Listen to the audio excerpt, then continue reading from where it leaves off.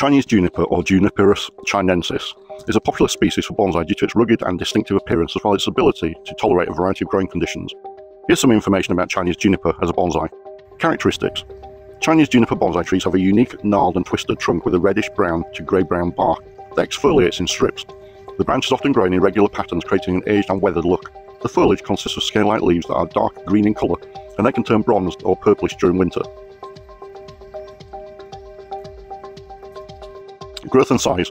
Chinese juniper bonsai trees can vary in size from small to medium large, depending on the specific cultivar and the bonsai training techniques. Chinese junipers have a slow to moderate growth rate, making them suitable for shaping and styling over time. Trunk and branches. Chinese juniper bonsai trees develop thick and sturdy trunks with rugged bark that peels off in strips, revealing different shades of reddish brown or grey brown underneath. The branches grow in irregular patterns, creating a natural and aged appearance. Wiring and shaping the branches is possible, but care should be taken to avoid damaging the bark.